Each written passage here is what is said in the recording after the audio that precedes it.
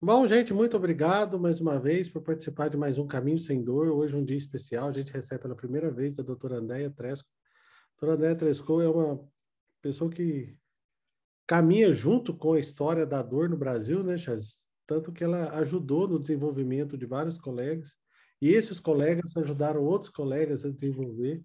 Então, ela está aí no coração da construção de tudo que a gente pensa em dor e, e coincidentemente, né, Chess, no, ela está no percorrendo esse caminho da construção da medicina da dor junto com a gente. E o nosso outro palestrante, Dr. Charles Oliveira, médico anestesiologista, um dos pioneiros da medicina intervencionista da dor no Brasil, né? Ele com o Fabrício foram os primeiros FIPs do Brasil e é hoje ele o nosso anfitrião aqui no Caminho Sem Dor. Professor Charles, passa você a palavra, é uma honra tê-lo aqui, você, ter você novamente aqui no caminho sem dor. Eu queria que você aproveitasse esses 10 minutos que a gente sempre faz previamente antes de começar a aula e falasse também sobre projetos expedicionários, que faz parte do grande projeto Caminho Sem Dor, que a gente leva aí tratamento para o Brasil inteiro. Dentro desse projeto que dos expedicionários que o professor Charles fez em João Pessoa pela primeira vez, outros virão. Esse ano já falo com muita alegria que no, no, nos projetos, nas aulas, nos cursos do Simpen, nós já tratamos gratuitamente mais de 400 pacientes e com mais de 2 milhões de reais em doação de produtos médicos hospitalares, honorários médicos e tudo mais. Então, a gente conseguiu levar tratamento a 400 pacientes totalmente gratuitos, pacientes que não teriam acesso a nenhum tipo de tratamento, e principalmente tratamentos caros, intervencionista. É algo que nos movimenta, é algo que nos alegra muito dentro do Caminho Sem Dor e dentro do Simpen. Seja bem-vindo, professor Charles, a palavra é sua. Carlos, obrigado pelo convite. É, também quero agradecer aqui publicamente a presença da Bruna.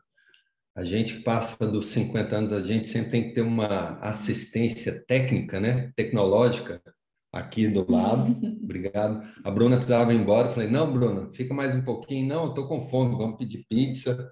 Então, a gente organiza dessa forma. E obrigado, Bruno, por você estar aqui me ajudando. É, eu queria contar uma história, como começou as, os cursos aqui no Singular. Talvez muita, muitas das pessoas não saibam que em 2009, é, eu e o Fabrício aqui no Singular, o Fabrício teve esse insight de fazer um curso tipo um, um MBA, um MBA de dor e de intervenções, sabendo que a maioria das pessoas não poderiam fazer um, uma residência regular, um fellowship regular, como a gente já tinha. A gente tinha começado nosso fellow em 2009, a nossa primeira fellow foi a Karina Sub, e daí surgiu a ideia de fazer esses cursos modulares. Naquela, naquela época, a gente tinha um relacionamento muito estreito com a Universidade de Washington, onde o Alex Carrana era o chefe. E dentro da Universidade de Washington era um, uma trinca muito forte, né? Alex Carrana na direção, lembrando que o Alex Carrana substituiu o primeiro era o, o Bônica, depois veio o John Losser. O John Losser tinha sido é, já tinha sido aposentado. Quando eu fiz a minha prova do FIP, foi o John Losser que me examinou e um, do, um dos examinadores. E aí ele tinha se aposentado entrou então a, a, o Alex Carrana. O Alex Carrana convidou o Michael Goldfield e convidou a Andrea. E aí estavam lá, né, tipo, seis meses rolando a residência, eu acho que tinha tudo para dar certo.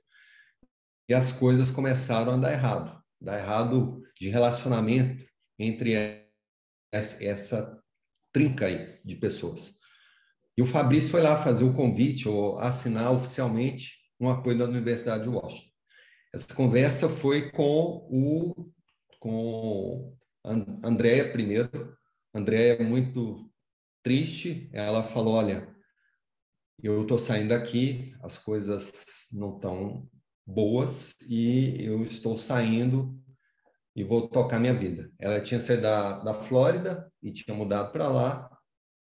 E dali ela foi para o Alasca e continuou na Flórida, nessa nessa vizinhança perto aí, né? Flórida e Alasca, vocês imaginam. E aí o Goldfield conversou com o Fabrício e falou, olha, ou a Universidade de Washington ou a Andrea. Não tem jeito de ter dois. E aí é, o tempo mostrou que a nossa escolha foi muito correta, né? Pouco tempo depois, o, o Kahana não estava mais na Universidade de Washington. É, o Michael Goldfield é um, é um cara muito gentil, muito amável e de muito amplo conhecimento, mas a Andrea tem essa, essa capacidade dela de, de ela, ela é uma verdadeira é, giver, né? Ao invés de taker, ela é giver. Ela entrega para todo mundo todo conhecimento. E conhecimento é algo que quanto mais você divide, mais você recebe. É isso que eu aprendo aqui no meu dia a dia com meus fellows. Quanto mais ensino a eles, mais eles me ensinam. E, e é isso. É, em relação a quanto tempo, horas aí, só para regular aqui meu tempo, tem mais dois minutos. Então, o objetivo hoje é a gente gravou essa aula tem uma hora, então uma hora atrás. André está lá em Budapeste hoje e já era meia-noite quando terminou a gravação, né? E então a gente gravou uma aula que uma hora atrás a gente estava estava aqui é, gravando isso aí. Só lá pelo sexto, sétimo minuto é uma impressão minha, eu não sei deu uma falhadinha no, na, na internet, mas logo, logo estabilizou e as coisas correram de uma forma muito tranquila. Ela dividiu a aula em duas partes. Ela pegou aqui a primeira parte falou de crioterapia e a segunda parte ela falou sobre estimação de nervos periféricos. A gente vai ter um, um isso aqui é um esquenta, né, do, do, do workshop que a gente vai ter aqui dia 24, e vai ser fantástico. A gente está conversando disto com quem tem a maior experiência que eu conheço, né, de ela fala de crioterapia há mais de 20 anos. Então, não é uma coisa nova para ela, tem uma experiência muito grande, a gente tem uma experiência muito boa, mas não se compara a dela em questão de de tempo, né? E também essa nova tecnologia, que é a estimação desses periféricos, há vários no mercado internacional, e o primeiro que está chegando aqui no Brasil é Steamwave. Então, é uma grande oportunidade para a gente é, caminhar com este trabalho aí que a gente é, tem muito que entregar para os nossos pacientes. É um produto a mais, um, são diferenciais a mais, coisas que você pode colocar rapidamente em no dia a dia dos seus pacientes, principalmente a crioterapia, que não é uma coisa que não tem nenhum device. E o estimulador é algo muito factível na vida também do anestesiologista que não tem as habilidades cirúrgicas que um um neurocirurgião ou um ortopedista de coluna tem. Então é isso, Carlos. Vamos dar o play porque daqui a pouco vai cestar, né? Então, toca o play aí, Carlão. Acho que você que tem que dar o play aí, não é?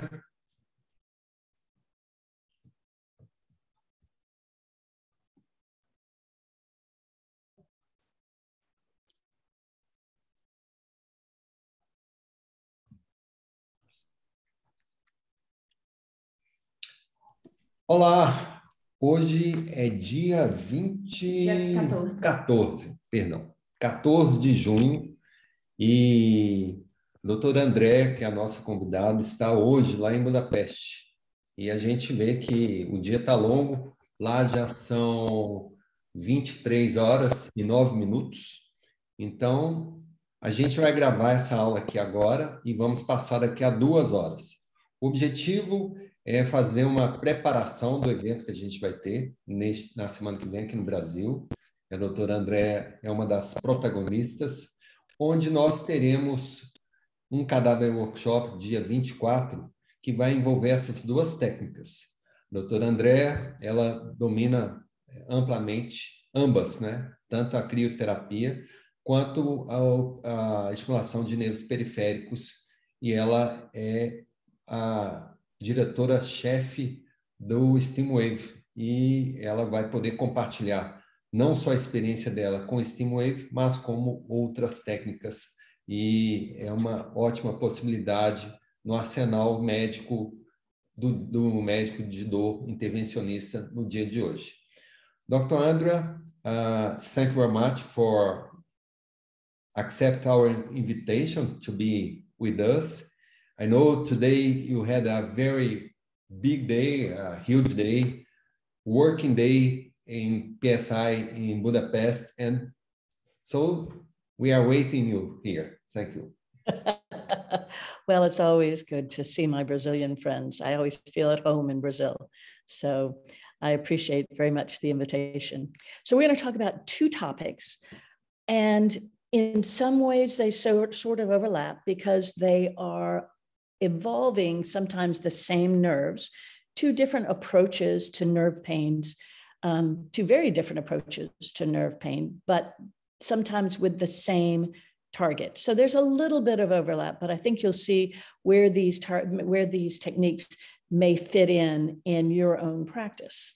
So as I share my screen, we will start with cryo and the so if I can get that to fit in here, there we go. Okay, so um, we're going to talk about cryo, um, the past, present, and the future, and its role in uh, pain management interventions. Now, I'm a lot of paths of many things. I was in private practice, then I was in academics, as professor at the University of Washington, director of the Pain Fellowship Program at the University of Washington and the University of Florida, past president of the American Society of Interventional Pain Physicians and of the Florida and Alaska Societies, and as Charles said, I'm the Chief Medical Officer of Stimwave Technologies, which for this lecture has no um, impact. So when we talk about the history of cryo, we know that in 1777, a long time ago, John Hunter, who was a surgeon, described that cold with ice would destroy tissue in a rooster comb, that red part that's on the top of a rooster. But he noticed that there'd be good healing and no scarring. And then in 1919, Trendelenburg noted that freezing caused damage to nerves with a prolonged loss of function, but eventually healing again without scarring. In 1961, Cooper developed the first cryoprobe. So we're talking about a technology that's almost 40 years old. And in 1976, Lloyd coined the term cryoanalgesia. And in general, all of the cryo systems look at using a compressed gas usually carbon dioxide or nitrous, that inside the probe goes, goes out through a tiny aperture and expands. And when a gas expands, that drops the temperature and makes the tip go down to about minus 70 degrees C. And it's called a Joule-Thomson effect. And when that happens, it creates an ice ball. And the size of the ice ball is a function of the size of the probe and the characteristics of the probe itself. But this can be a very significant sized lesion, which, as we know now, sometimes bigger is better. That's what they told me for years. The biggest advantage of cryo over other technologies like phenol or alcohol or RF is it going to be used on large myelinated nerves? There's no neuroma formation. So when the nerve is growing back, it still has its insulation, its myelin sheath to grow back down. And that means this can be repeated multiple times and this nerve will still grow back normally. And so, just as an example, this is untreated nerve tissue. And this is one week after treatment. You see all the granular cells coming in here, but the myelin sheath has stayed intact. So this is what we call Wallerian degeneration. And that nerve will degenerate, but even though it's degenerating, this PVC piping that the nerve can grow back down still stays intact. And this was some immunofluorescence studies done on mice where this is what a normal nerve would look like. So green would be the neuron, lots of neurons here. And so then one week after cryo, all the nerves are gone, all the neurons are gone. But 32 weeks after multiple refreezings, here you see structure looks identical to what it did. And so that's what makes it unique is the idea that this nerve regenerates. So you say, well, goodness, if it regenerates, the pain comes back, but not usually because it because the nerve is usually the ones that we're treating are entrapped. Once the nerve dies, once it's killed, then that entrapment stops all the spasm stops, all the pain stops, all the pain behaviors and the change in gait and all the things, the edema, everything that was perpetuating this entrapment stops. Everything goes back to normal. And now the nerve is growing back into a normal environment. It doesn't affect the muscles, the blood vessels, or the fat. And most of these machines have a built in nerve stimulator. So you can do both sensory and motor stimulation, be right on the nerve. And they monitor gas flows. And there's a defrost cycle. And that defrost cycle is important because as that ice ball forms, it's freezing from the inside. The temperature on the outside now, after a while, doesn't get any colder because the ice is actually insulating the ice ball from the cold surface. This is, I grew up, I was living in Alaska for the last seven years, and in Alaska, we big build houses out of ice igloos, right? Well, not really, we don't do that, but ice is a wonderful insulator. And so what you do is after a certain period of time, usually about one to two minutes, that ice ball doesn't get any bigger. And so you stop the freezing, let the tissues defrost, but before they get warm again, you refreeze. And now the tissues are cold, super cool, and you make an even bigger ice ball. And so that freeze to frost is important. There are some other tools that have been developed. Um, this one from AtriCure was designed to be used intraoperatively. Here's the inside of the lung, and you lay this probe right on the um, intercostal nerves. And they've been doing this now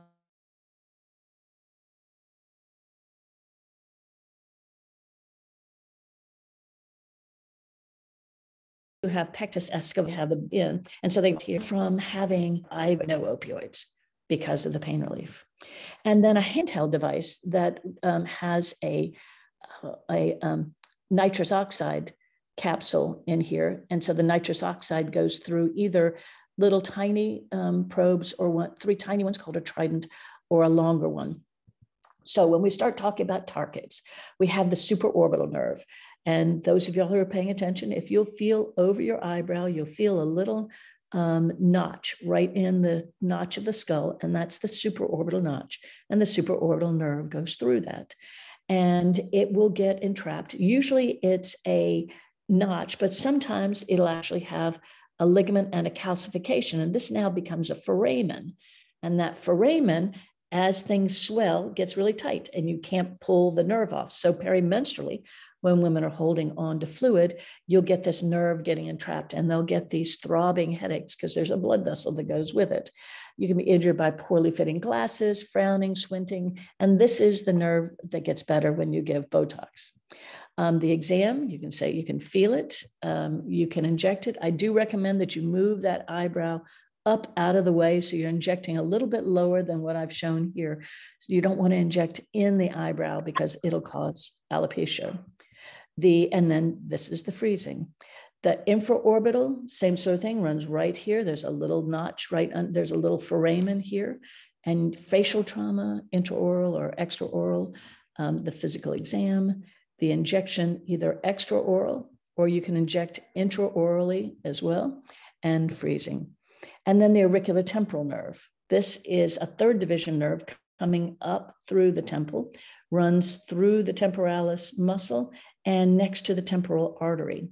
And so this is what gets misdiagnosed as TMJ. And at four o'clock in the morning, this is the headache that'll wake you up because you'll start clenching.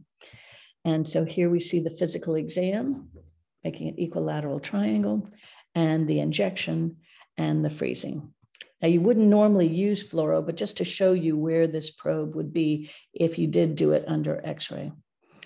Trigeminal at the foramen ovale, you see the probe coming right in for the trigeminal nerve. And this is very effective for tic douloureux, facial pain, and facial cancers. But you always want to look at the distal sites first. So I look distally before I ever move proximally. Occipital for headaches, um, the greater, lesser, and third. It can refer to the frontal or behind the eyes area.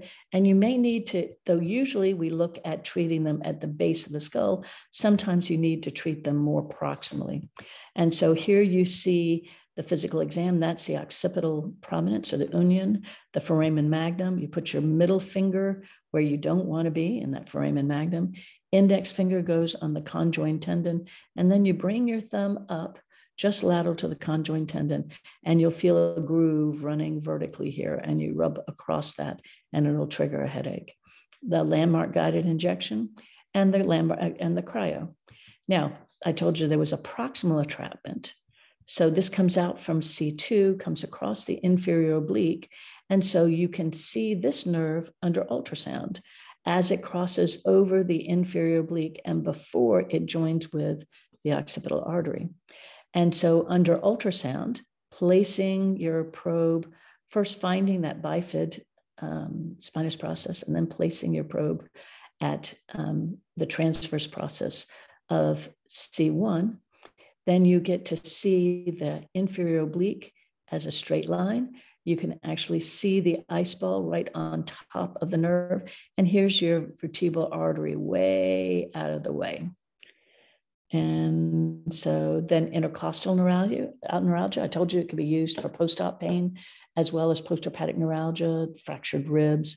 And I'm recommending an oblique approach rather than what we've been taught, which is to go um, perpendicular to the to the rib and then drop off. Well, the nerve is actually up underneath this edge.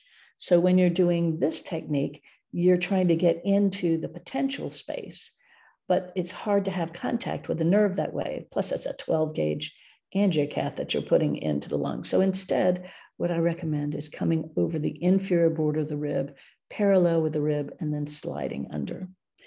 And that gives you a lower risk of pneumothorax. So instead of going perpendicular to the rib, what I recommend is coming parallel or obliquely to the rib.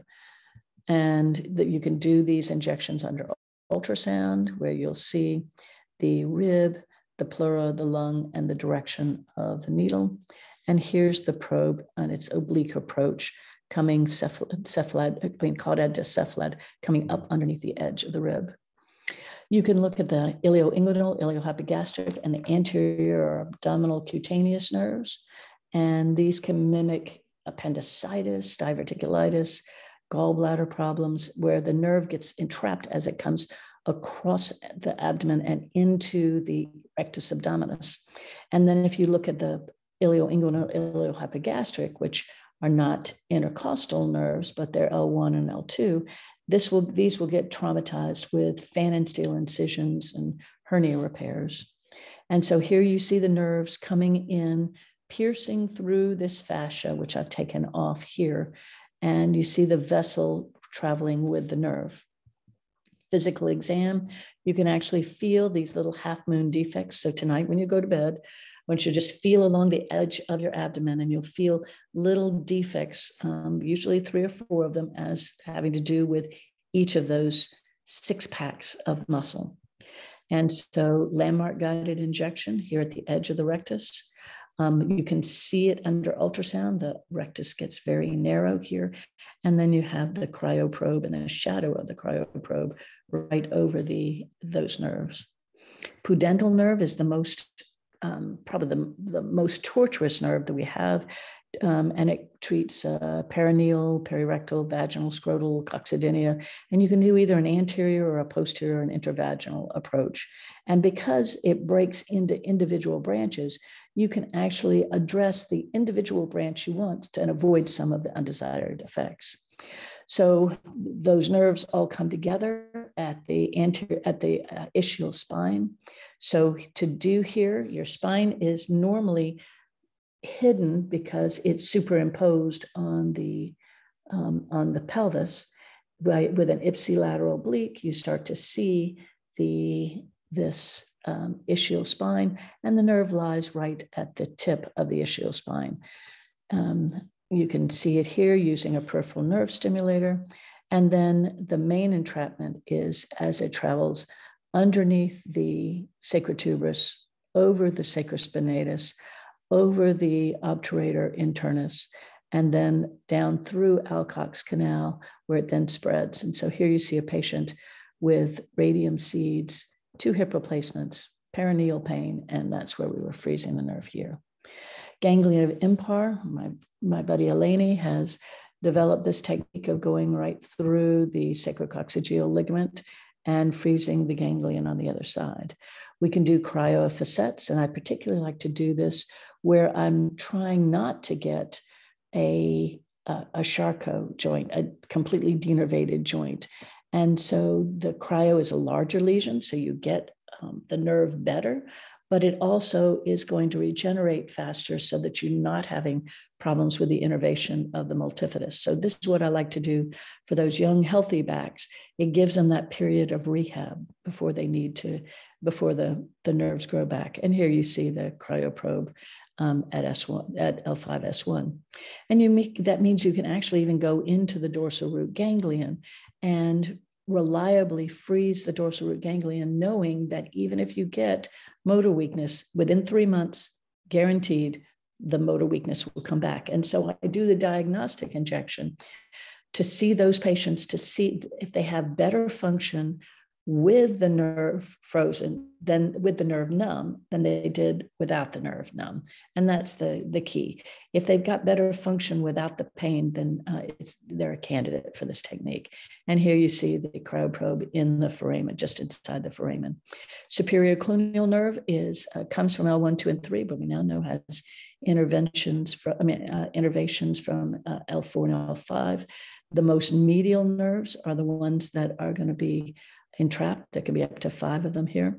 And the most medial ones go through a canal and it will refer, since it's coming from the lumbar spine, it will refer pain all the way down the back of the leg to the foot. And it becomes one of what we call a pseudo sciatica, a pain that, that mimics a herniated disc, but is not due to a herniated disc. And so here you see the nerves going through the their um, say through their tunnels and you see the innervations not just from T12 and L1, which is what we were classically taught, but also from L2, L3, L4, and L5. And the ones that are most medial are the most ones most likely to be entrapped. And the cryoprobe right on the top of the iliac crest. Now, the middle cluneal nerve is the inner, main innervator of the sacroiliac joint. And so when you're doing your diagnostic uh, sacroiliac joint injections, watch where the dye goes. These nerves are piercing the joint capsule and the dye will track back along them. You notice that these nerves all gather right here, and this structure right here is the PSIS. Why does the PSIS hurt in sacroiliac problems? Well, it hurts because it's right where the all those nerves gather together. And so here you see cryo of the um, of the middle cluneal nerve. And then you can denervate the hip joint at the, um, the articular branch of the femoral nerve and the obturator nerve. And here you see a total knee, a total hip replacement and freezing the nerves going to it because it was still painful. Infrapatellar saphenous, very, very common cause of knee pain. Um, and just about this is the time the patients can't localize where it hurts, occasionally refers to the medial calf and can present as a CRPS. And this is um, an article I wrote on the IPS. And here's the nerve coming around. Under ultrasound, you'll usually find it in the flare, but occasionally it'll be outside of that, which would be one of the reasons why fluoroscopy RF will fail, and cryoneuroablation of that nerve. And so um, I really don't like the term genicular nerves, but it's currently being um, used widely and so, just like the radio frequency, the probes can be placed in exactly the, the cryoprobe can be placed in exactly the same place. And then you can go all the way down to the foot to the digital nerves that get trapped at the ball of the foot in diabetics and poorly fitting shoes and um, the deep perineal nerve as well. And so this becomes a tr- potential treatment for peripheral neuropathy. And here you see cryo, of the digital nerves. So some just, you know, looking at it using for acute pain management, um, could it replace continuous peripheral infusions? The use for lateral femocutaneous cryo to measure out I mean, to anesthetize an area long term for a skin graft for a burn.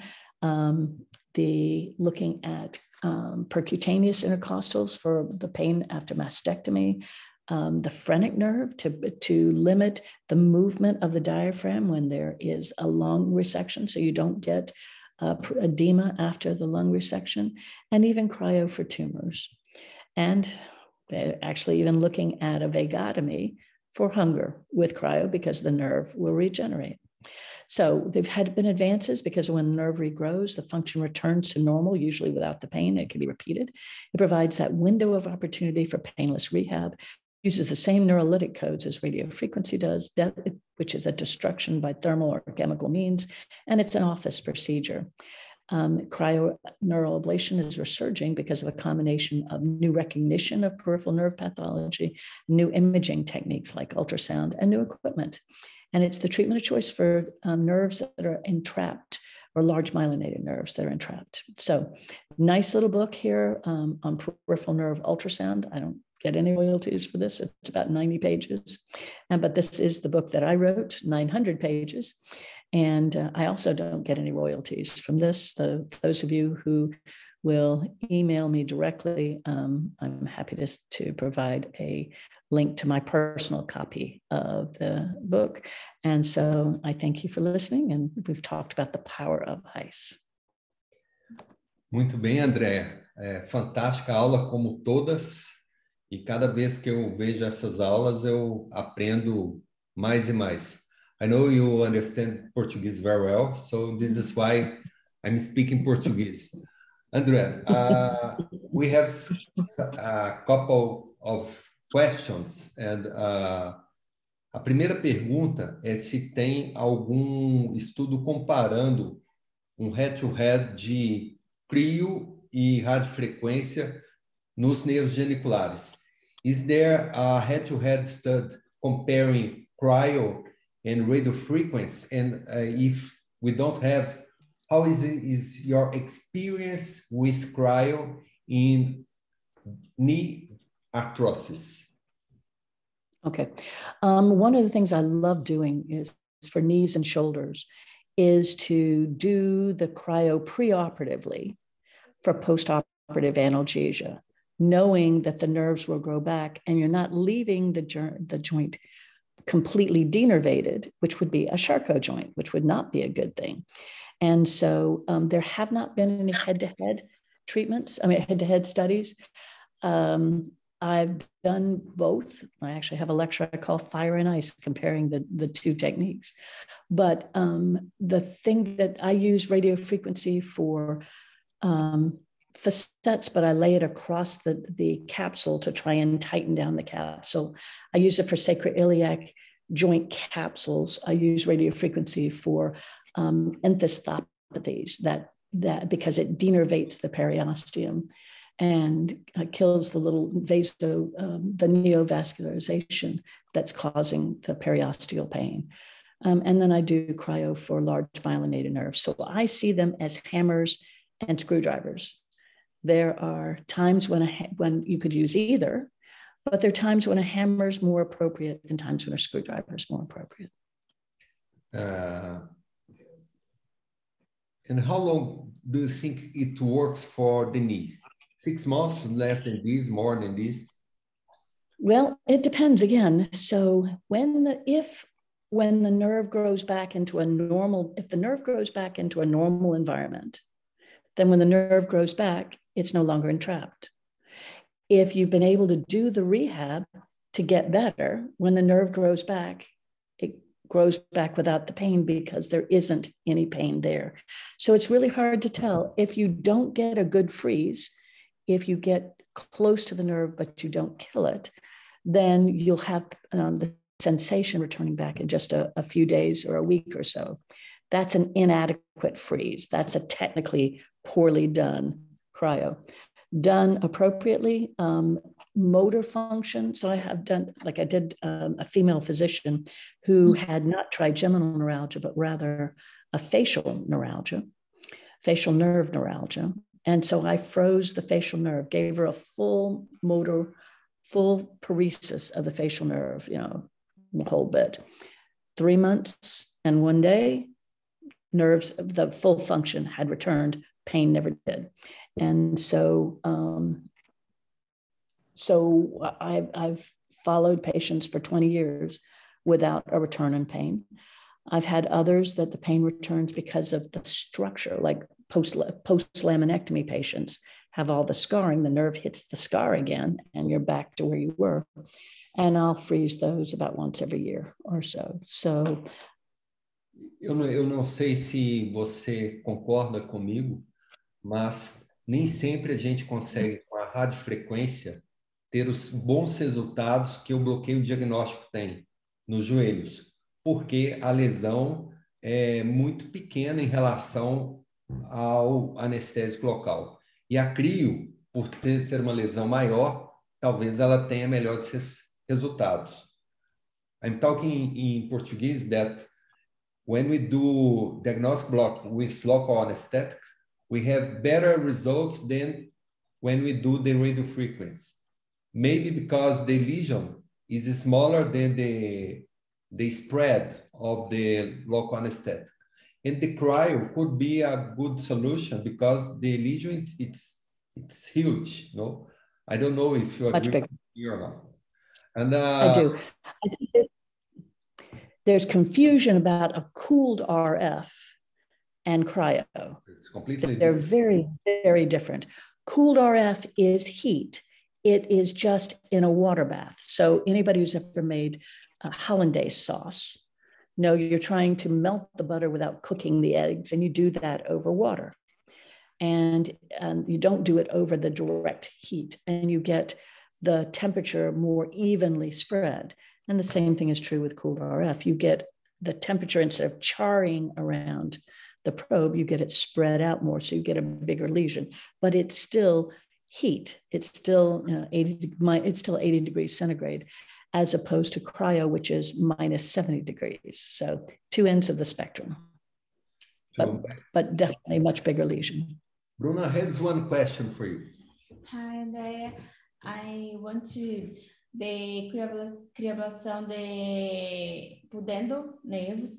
Uh, can I uh, have a possibly the fecal incontinence in patient?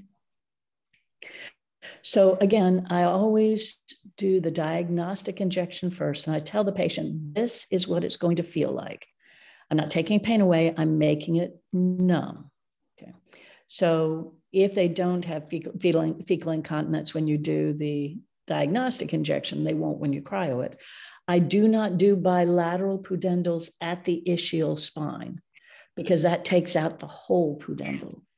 I will do, however, I will do the individual branches. Um, and if you're doing it bilaterally for a woman, you're going to take out her clitoral stimulation. For guys, you're going to take out the um, the shaft of the penis. So it is important in my mind. I do the diagnostic pudendal at the ischial spine. Is it pudendal or not pudendal? But then I go back and I try and pick out the individual branches that are involved and then freeze only those individual branches. But if uh, a pergunta aqui é se uh, a crio pode causar incontinência fecal, né? Agora a, a pergunta, André, é se fizermos isso de um lado só, a pessoa não vai ter é, incontinência. If we do cryo just on one side of the pudendal, in the ischial spine, uh, is it possible to have a uh, fecal incontinence or it's not a hundred percent? Pudendal's not pudendal's not the motor to the to the sphincter. So so no, it doesn't. No. Um, but you may pick up other branches if you're not careful. And so that's why I just, if you're doing only one side, it won't be a problem, but I always try and go as far distal as I can. Very nice. We, we could be here all the night, all, all night long, but in respect to you, let's go to the second one. Okay. All righty.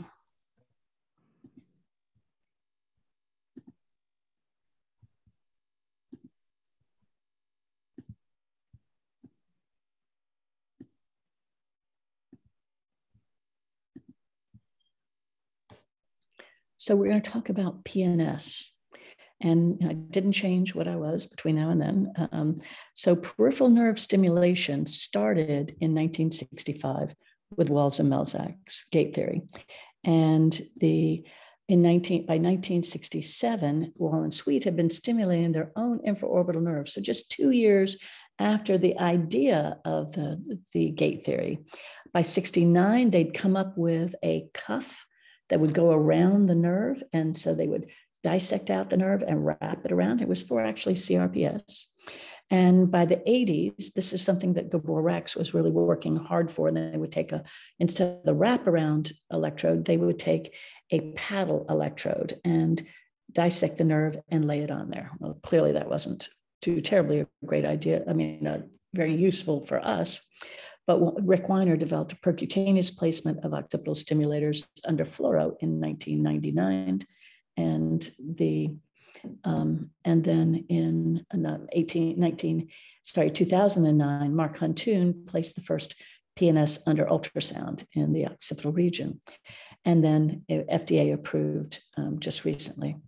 So previously we had sort of landmark guided was really more of a field stimulation. Plate leads were placed percutaneous in the general region of the nerve. Or you could do what we just talked about, the surgical dissection and wrap the electrode around the nerve. But clearly there was scarring and there was no way to really trial that. And so we also had the problem, even when we were placing them under ultrasound or fluoro, we still had to find a place to put this IPG. Or you could put it in the abdomen, the thigh, the buttocks, the anterior, the infraclavicular region. You'd have to tunnel. If you were having some a stimulation on the foot, you'd have to tunnel it all the way up to the belly. And then you had all these people with pain from the pocket of the battery. And so this battery ends up being a significant problem.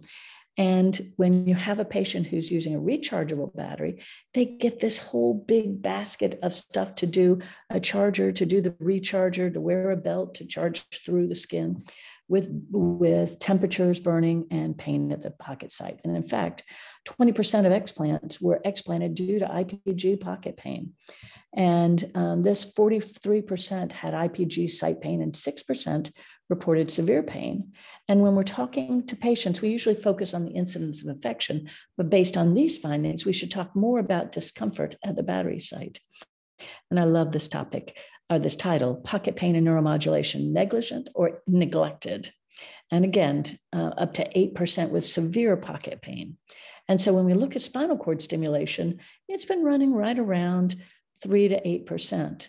We, but when we talk about IP, severe IPG pain, eight out of 10, we're talking about six to 8%, at least as much as we see with infections. So, standard, we want to try and identify are there patients that are good candidates and how can we mitigate some of these pocket pain issues? So the diagnosis is hidden in the patient's history and the cause is elicited by the physical exam. It's the history given by the patient and in the patient's own words that's key to making the diagnosis. So you need to know the mechanism of injury, initial site of the pain, and initial referral pattern. So these pain patterns are very specific for a lot of these nerves and you have the patient point to where it hurts and then ba- and inspect it. And based on your knowledge of the patterns of pain, you make an educated guess to the entrapment site. Now you have to remember to, to examine tangentially to the nerve. If you have a guitar string and you do this, you won't get any music. You have to go across the guitar string to make music. So you have to identify, you have to examine these nerves across their structure and then make sure you're checking back proximally painful nerve, non painful nerve, painful nerve, non painful nerve. So you're treating it.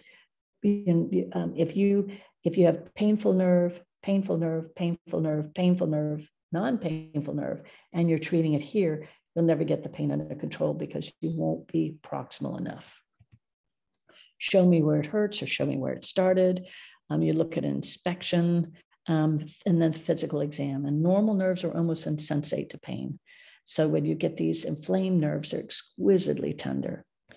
And so we have some diagnostic tests. We have an EMG nerve conduction study, but we know that's not very, um, very sensitive. Uh, we don't usually see the cause of the pain as easily here on MRI as we do because normal uh, on this patient, because normally the nerves are very small um, that we're getting better at being able to do sequences of the MRI to be able to pick out those nerves.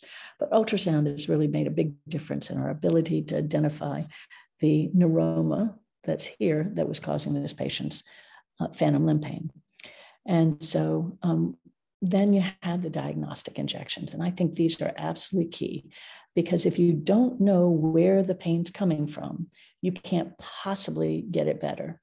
And the, you know, I could do the world's best appendectomy, but if the problem's your gallbladder, I'm not going to get you any better. And so you can do landmark guided injections. Um, you can do use a peripheral nerve stimulator, CT, fluoro, or ultrasound. That's not really what matters. It means it matters that you're making the right diagnosis. For those of you all who don't do much ultrasound or do um, sort of more anesthesia based ultrasound, those are usually done in plane and it's easier. You get to see the needle the whole time you're doing it. Um, but there's less contact with the nerve if you're trying to do a stimulator in that area, maybe more difficult to interface. And it's really best for stimulating nerves that are perpendicular, where you're going perpendicular to multiple nerves, like the superior cluneal nerve. So the in-plane injection, here's your nerve, here's your needle, the fluid going around it, and so you see it here. Um, and but if you were doing the nerve, the needle, and the stimulator, you can see that you don't have very much contact with that nerve. The out of plane, on the other hand, is technically more difficult to see the needle tip because you have to constantly be going back and forth and back and forth to make sure you're seeing the tip of the needle. And then you got to switch to the longitudinal view, but it does give you better contact with the nerve and maybe easier to secure and probably best when you're stimulating individual nerves like the posterior tibial. And so here you see the short axis in plane, but instead I'm recommending for many of these nerves a short axis out of plane and then switching to the longitudinal view. And so it would an example would be here's the needle tip. We're seeing this needle on end, the nerve is underneath it, and then you switch to longitudinal view, and now you can actually even see the fascial plane that you're going to try and place, where you're going to try and place the stimulator. So um, just to compare the same nerve, the posterior tibial nerve, here's the in plane perpendicular to the nerve. Here's the parallel out of plane and how much better the contact is with the nerve. So let's just talk about a couple of PNS examples. Um, suprascapular nerve is one that causes pain in the whole shoulder and forequarter. Uh, the nerve gets trapped at two places, the suprascapular notch and the spinoglenoid notch uh, physical exam, I call my Vulcan death grip. Um, you can see the suprascapular notch on MRI, and you can see how easy it is to entrap it. And then that there's another branch that then comes down and goes through the spinoglenoid notch, which is more inferior here and comes out and into the infraspinatus muscle. Landmark guided injection, fluoro guided injection, um, ultrasound guided injection. And then we place the stimulator medial to lateral right across the suprascapular notch. So the intercostal nerve um, for chest wall pain, the nerves come around and uh, can get trapped um, anywhere along the path. And then as it enters the rectus abdominis muscle, landmark, the physical exam, landmark guided injection, fluoro guided injection. Remember, I said this on the other one that this is not a good direction. We want to go obliquely instead, um, ultrasound. But here we're doing the ultrasound perpendicularly, which makes it so much harder to do. And so instead, you'd really like to do an in plane um, injection here so that you're looking at um, passing the needle along the bottom of the rib so that then you can thread the electrode along the bottom part of the rib.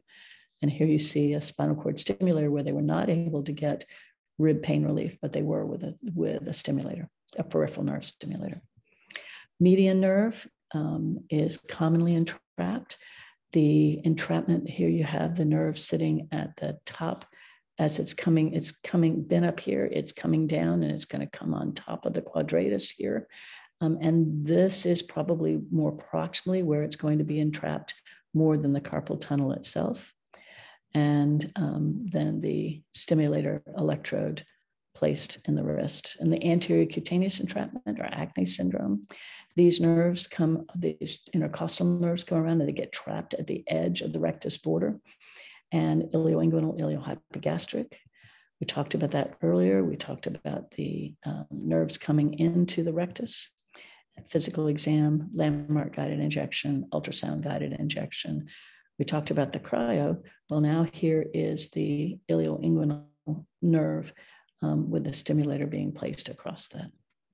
Superior cluneal nerve, well, you can have up to five of these superior cluneal nerves. Um, you can see them under ultrasound as they cross over the top of the iliac crest. Um, I mean, fluoroscopically guided injection. And then you just lay the, the um, stimulator right across the top of the iliac crest. There's actually even a contralateral oblique approach so that you're sliding it along the top of the iliac crest if you've had problems making sure that you're not too posterior, not too anterior. So you can lay this right across the top of the iliac crest and it ends up in the same place. Middle cluneal nerve, we talked about a minute ago, the main innervation of the sacroiliac joint. Um, and again, talked about the nerve going through the long sacral ligament the um, Netter calls them actually middle cluneal nerves. Nobody uses an anatomy book uses the lateral branches, but you can place these stimulate these stimulators lateral to the foramen, medial to the sacroiliac joint to provide relief of the middle cluneal nerve, which is the nerve that goes to the sacroiliac joint, just like we treat medial branches for patients who have pathology of the facet. And for the knee, um, Philip Peng did a lovely job looking at all the various nerves that are going to the knee, but the one that gives the most pain relief for the knee is this infrapatellar saphenous nerve. And so it will give a global anterior knee pain.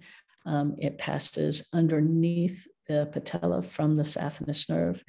It is um, uh, misdiag- misdiagnosed often as a pes anserina coming across instead across the uh, inferior to the to the patella and injured by most of the surgeries done on the knee.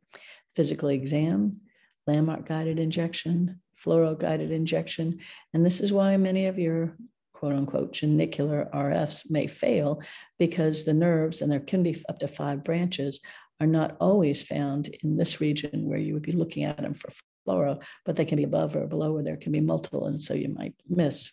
So um, we can certainly do cryo of um, we can do cryo of all three nerves. We can stimulate all three nerves, but it's the infrapatellar saphenous um, that gives us the most. So if we're doing this under fluoro, we would do a, a Seeker needle right here at the flare of the tibia um, and place the electrode right there in the flare where the nerve is crossing across there. Now look here, if you notice that this patient has lateral osteoarthritis, but we placed a medial stimulator. Why? Because when we injected the infrapatellar saphenous, all her pain went away. And then you can use this also for the post surgical, like the total knee replacements. Um, and if need be, you can also place the stimulator cephalad in the, in the superior, um, the superior anterior lateral cutaneous and the superior anterior medial cutaneous nerves. And then the posterior tibial is a, does most of the um, bottom of the foot and the heel. It um, goes through the tarsal tunnel, often the, the branch, the medial calcaneal branch to the heel will take off before it goes through the tarsal tunnel. And then it, it breaks into the medial plantar and the lateral plantar nerves. You can see this well under ultrasound in a live patient. And there's the characteristic, what we call the Mickey Mouse ears, vein, artery, vein, and the nerve will reliably be right under or just to the side of that. Now, you don't want to be putting your stimulator in the tarsal tunnel because then there's just going to make that space uh, even tighter. So instead, we start up a little bit higher and then thread down um, toward the tarsal tunnel. And so you can do this landmark guided by dividing the space, um, the posterior aspect of the um, medial malleolus and the anterior aspect of the Achilles tendon, and then divide that space in thirds and stay in the posterior one third. Or you can do it under fluoro or you can do it under ultrasound. Now, there are a couple of different systems you can use. You can use SPR, which is paced, placed through a 20 gauge needle designed to be removed after 60 days. And there's a stimulator. Uh, this is covered with a tegaderm, and there's a stimulator that's glued to the skin. And they've done a variety of studies looking at post amputation, chronic low back, chronic shoulder, um, and knee arthroscopies. It's wireless, um, no uh, IPG, no battery implant, but it's sticky pads and this bulky external case. And it only has a monopolar electrode designed to be removed after 60 days. And it can be a fragile lead and no advanced waveforms. Bioness StimRouter was originally used to um, lead placement for shoulder pain after strokes. Um, it's a lead and antenna and then a, a hand, a wireless handheld controller. So you, you see the tined leads, the um, receiver that goes is glued onto the skin, and then the controller. And so it goes onto the skin like that, um, and the controller tells the um, tells the receiver to send signals to the wire that's underneath the skin.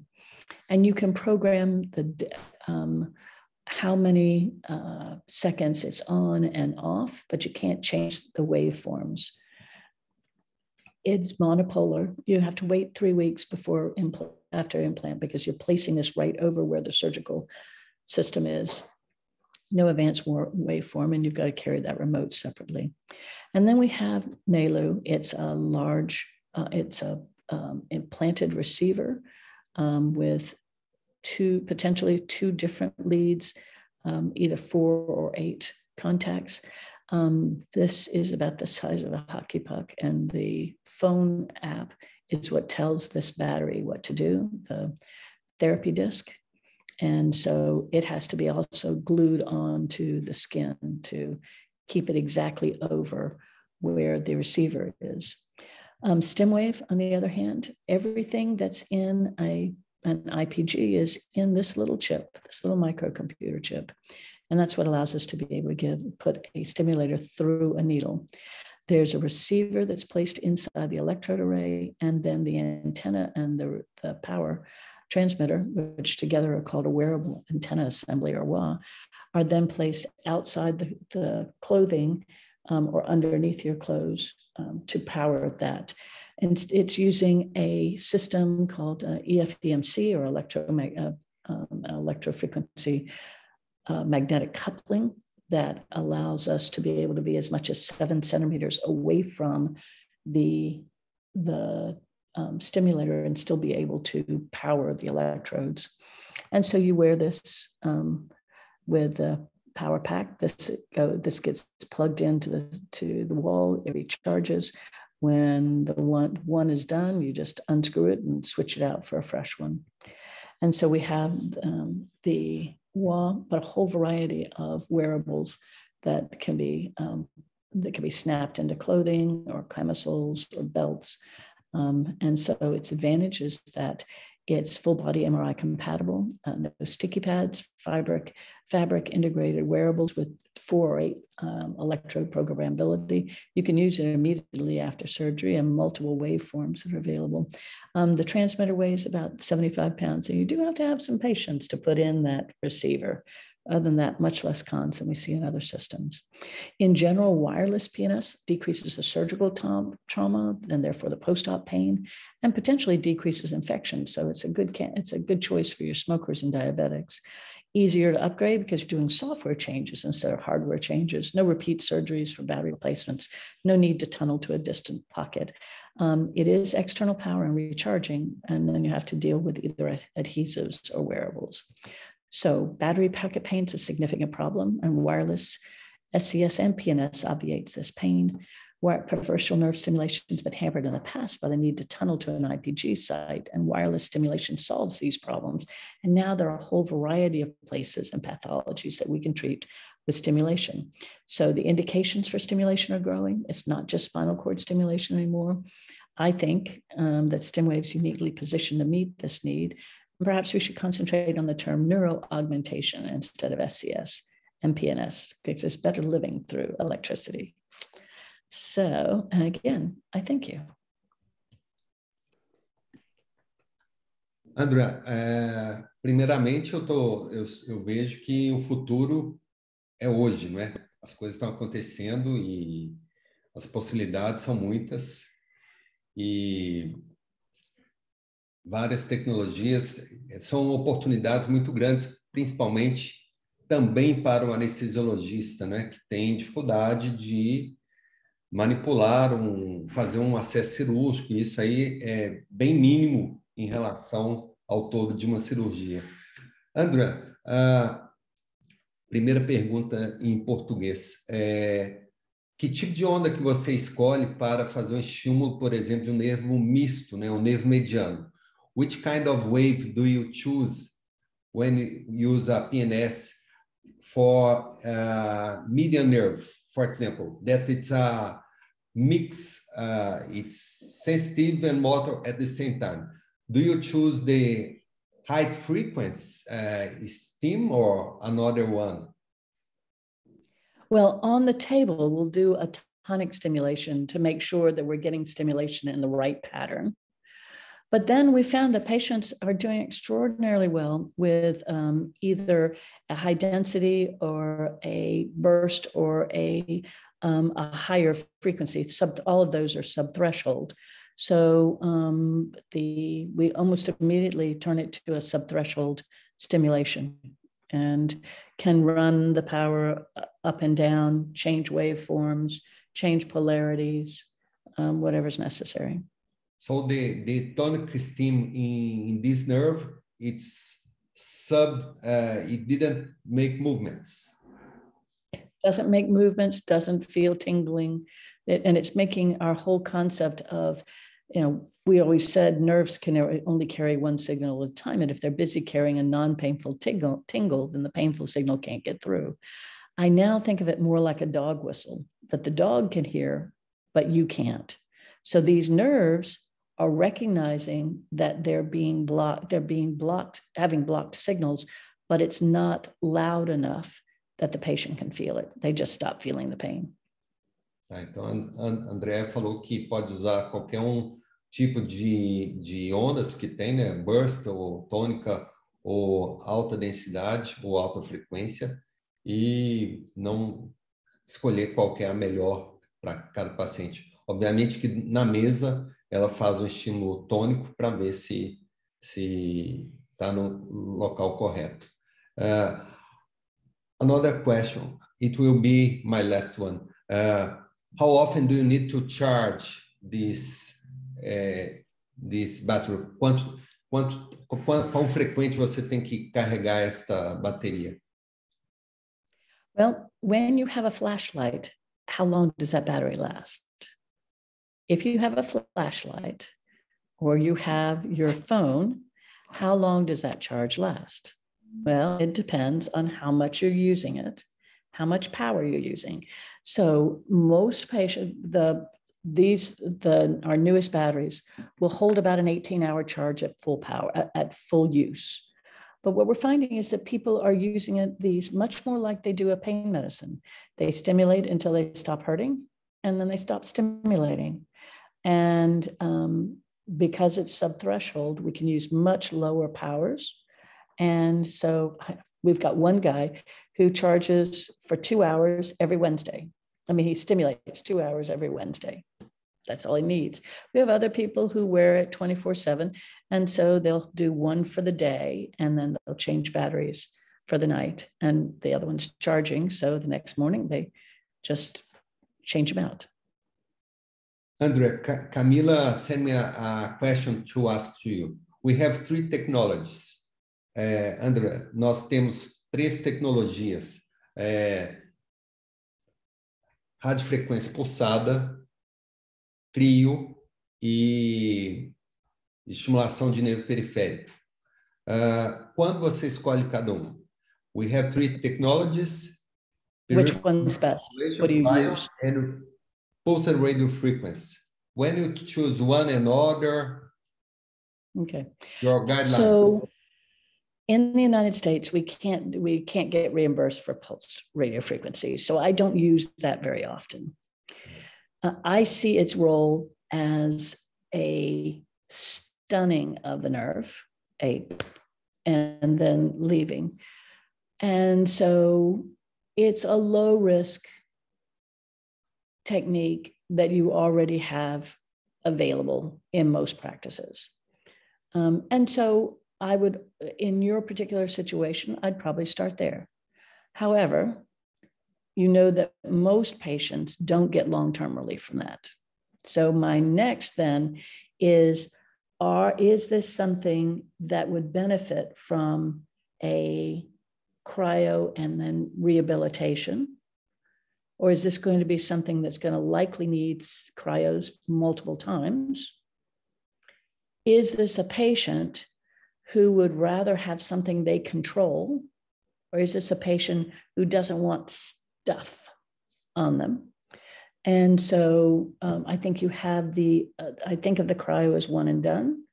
I think of the stimulator as being longer term, continued treatment.